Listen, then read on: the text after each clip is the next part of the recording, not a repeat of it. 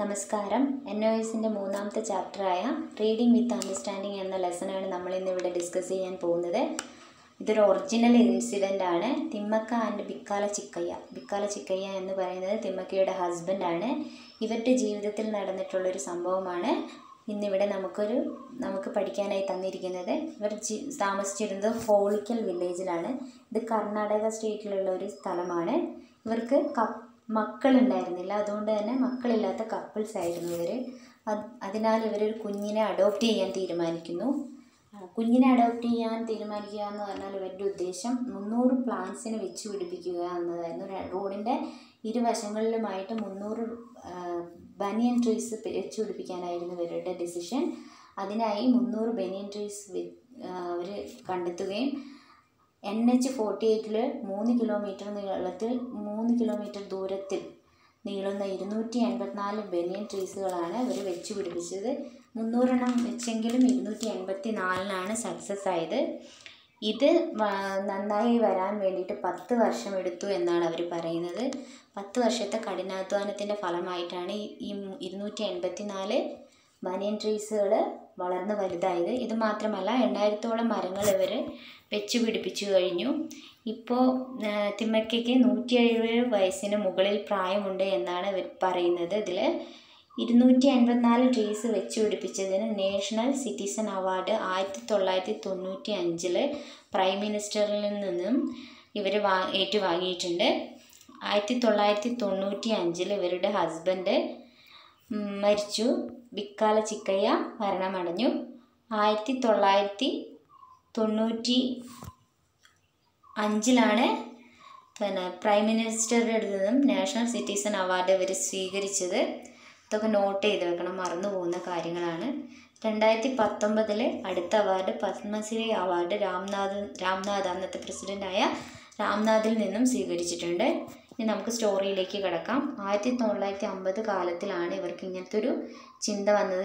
കാരണം എന്താണെന്ന് വെച്ചിട്ടുണ്ടെങ്കിൽ ഇവരുടെ വീടിന്റെ അയൽവക്കത്തുള്ളവരും കുടുംബത്തിലുള്ളവരൊക്കെ മക്കളില്ല എന്ന പേരിൽ ഒരുപാട് കുറ്റപ്പെടുത്തിക്കൊണ്ടിരുന്നു. അതുകൊണ്ടാണ് തിമ്മക്കയും തിമ്മക്കയുടെ ഹസ്ബൻഡും കൂടി ഇങ്ങനെ ഒരു തീരുമാനമെടുത്തത്.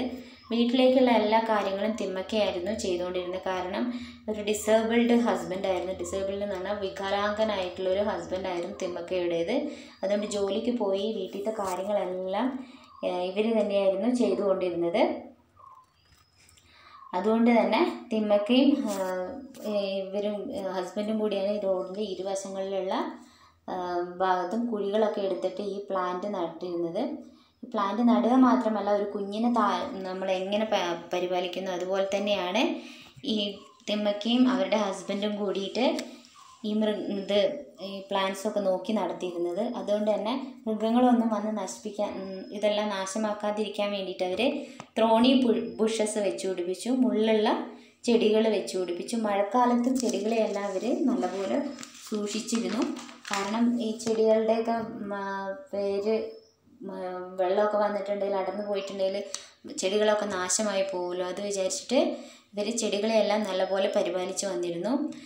പിന്നെ ആയിരത്തി തൊള്ളായിരത്തി അമ്പതുകളിൽ നടന്ന സംഭവമായതിനാൽ പൈപ്പ് വെള്ളമോ അങ്ങനത്തെ ഒരു സജ്ജീകരണങ്ങളൊന്നും ഉണ്ടായിരുന്നില്ല. ഇന്നാണ് നമുക്ക് പൈപ്പിൽ വെള്ളമൊക്കെ പിന്നെ മോട്ടർ പൈപ്പ് അങ്ങനത്തെ സംവിധാനങ്ങളൊക്കെ ഇന്നത്തെ കാലത്തല്ലേ നമുക്ക് ഇപ്പോഴല്ലേ കിട്ടിയത്. ആയിരത്തി പണ്ടുള്ള കാലങ്ങളിൽ ആയിരത്തി തൊള്ളായിരത്തി അമ്പത് അങ്ങനത്തെ കാലങ്ങളിലൊക്കെ ഈ ബക്കറ്റിലെ വെള്ളമൊക്കെ കൊണ്ടുപോയിട്ടാണ് ചെടികൾ നനച്ചിരുന്നത് എന്നാണ് പറയുന്നത്. അതുകൊണ്ട് തന്നെ വളരെ ദൂരത്ത് നിന്നാണ് ജലം ശേഖരിച്ച് കൊണ്ടുവന്നിരുന്നത്. തിമ്മക്ക അതിനായിട്ട് എന്ത് ചെയ്യും? നേരം വെളുക്കുന്നതിന് മുന്നേ വീട്ടിൽ നിന്ന് ഇറങ്ങിയിട്ട് കുടൂർ റോഡിലുള്ള ആ ചെടികളൊക്കെ നനയ്ക്കാൻ പോകുമായിരുന്നു. പത്ത് വർഷങ്ങൾക്ക് ശേഷം അവരുടെ പ്രവൃത്തിക്ക് ഒരു റിസൾട്ട് വന്നതിൽ അവർ അവർ വളരെ അഭിമാനം കൊണ്ടു എന്നാണ് പറയുന്നത്. ഇതൊക്കെ ചെയ്യുമായിരുന്നെങ്കിലും അന്നന്നത്തേക്കുള്ള അന്നത്തിനായിട്ട് അവർ കോറിയിൽ ജോലിക്ക് പോകുമായിരുന്നു. അതായിരുന്നു അവരുടെ മെയിൻ വരുമാ വരുമാനം എന്നാണ് പറയുന്നത്. ഇന്ന് ഈ കുടൂർ റോഡിലുള്ള ഇരുവശങ്ങളിലുമുള്ള ഈ ബനിയൻ ട്രീസ് ഒരു ഒരുപാട് പക്ഷികളുടെ വാസസ്ഥലമായി മാറിയിരിക്കുകയാണ്. തണലും പക്ഷികളുടെ വാസസ്ഥലമൊക്കെ ആയിട്ട് മാറിയിരിക്കുകയായിരുന്നു. ഇന്ന് ഈ ട്രീസിന് എൺപത്തഞ്ച് കോടി വിലമതിക്കുന്ന വൃക്ഷങ്ങളായി മാറിയിരിക്കുന്നു എന്നാണ് നമുക്ക് തന്ന ഈ ഭാഗ പാഠഭാഗത്തിൽ പറഞ്ഞിരിക്കുന്നത്. ഇനി ഈ വലിയ വലിയ വേർഡ്സ് എന്തെങ്കിലുമൊക്കെ ഉണ്ടെങ്കിൽ നിങ്ങൾ ഡൗട്ട്സ് ഉണ്ടെങ്കിൽ ഉറപ്പായിട്ടും ഡിക്ഷണറി ഒക്കെ ഒന്ന് റെഫർ ചെയ്ത് നോക്കുക.